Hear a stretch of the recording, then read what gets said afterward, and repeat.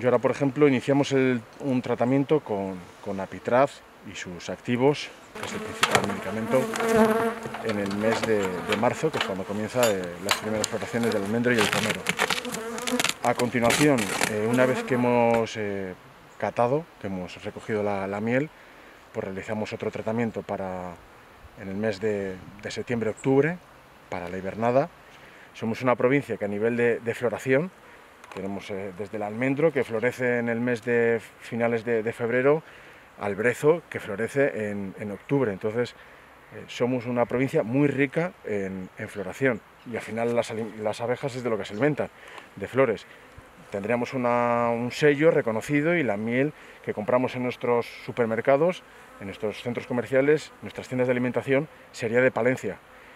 Y el consumidor decidirá si lo quiere pagar eh, a ese precio o a otro pero sabrá por lo menos el producto que, consume. la miel del cerrato es maravillosa, concretamente la de tomillo, espliego, etcétera, y la miel de brezo también es, sensacional. Ahora mismo es una de las mieles más reconocidas en todo el mundo. Tenemos la tapa eh, forrada con poliestireno por el tema del frío para mantener la temperatura entre tapa y tenemos un, plástico a modo de poncho de mantener la temperatura tiene la, colonia. Tenemos una colonia bastante fuerte.